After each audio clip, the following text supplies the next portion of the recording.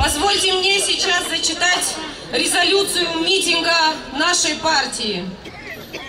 Мы, представители Северного района региона Республики Молдова, участники организованного нашей партией в Бельцах марша протеста против антинародного режима и митинга за свободную Молдову, констатируем, Молдова остается захваченным государством, которое находится под полным контролем олигархической группировки в лице ДПМ и ее лидера Плохотнюка.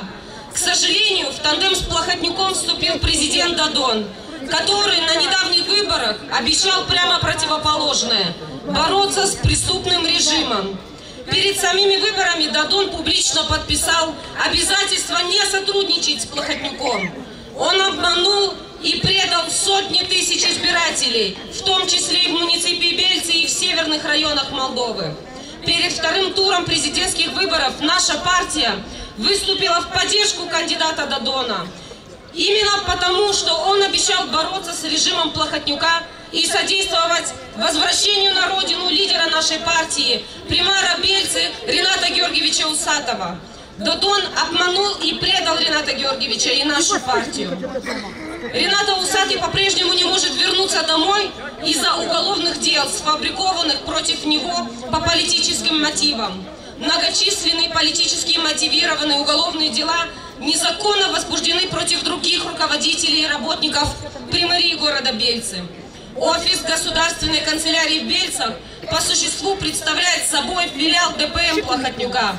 И вместо того, чтобы содействовать развитию города, всячески саботирует нормальную деятельность законного и избранного местной власти. Ставленники ДПМ в Бельцах по-прежнему покровительствуют бандитским, коррупционным схемам, войну которых объявил Рената Георгиевич Усатый.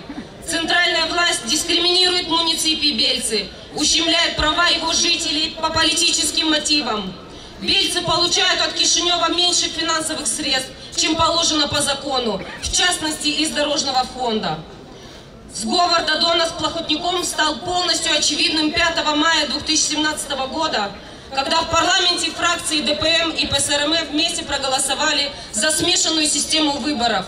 Фактически был совершен государственный переворот, цель которого увести Плохотнюка от ответственности за содеянные преступления – помочь ему сохранить власть, чтобы дальше грабить страну и издеваться над народом. Молдова превратилась в государство, в котором появились политические заключенные, а против оппозиции обрушился вал репрессий. Главный удар этих репрессий принимает на себя наша партия.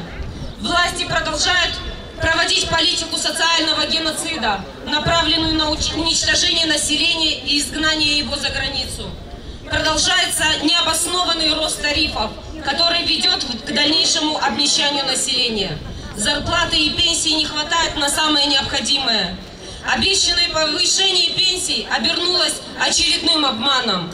Зато повышение возраста выхода на пенсию реально. Никто не борется с реальной коррупцией.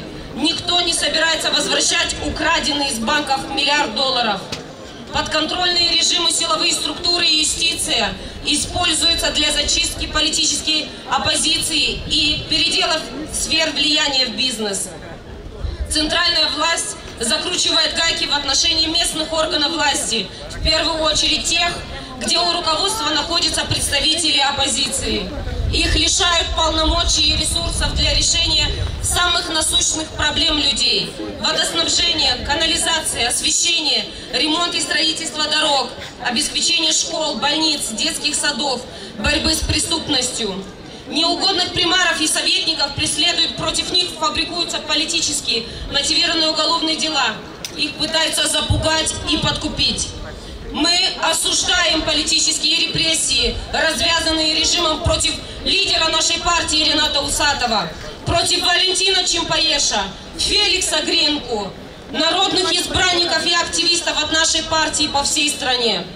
Подобной антидемократической порочной практике должен быть поставлен конец. Мы требуем прекратить незаконное преследование лидера нашей партии – примара муниципия Бельца Рената Георгиевича Усатова, закрыть все сфабрикованные против него уголовные дела, обеспечить ему возможность вернуться домой, нормально руководить примарией муниципе Бельцы и нашей партией. Мы требуем прекратить давление на местные органы власти, дать местным избранникам возможность нормально выполнять свои обязательности перед гражданами, которые их избрали. Мы требуем прекратить давление и саботаж по отношению к бельцам со стороны центральной власти и ее представителей в муниципии. Мы говорим «нет» тандему Плохотнюка-Дадон, «нет» антинародной реформе избирательной системы. Мы призываем президента Республики Молдова Игоря Дадона выступить за сохранение действующей системы избирания депутатов парламента не поддерживать введение любой системы выборов, которая позволяет сохранить преступный режим Плохотнюка.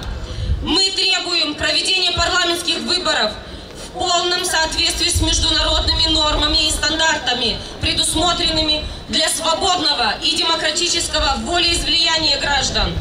Мы говорим «нет» росту тарифов и повышению пенсионного возраста.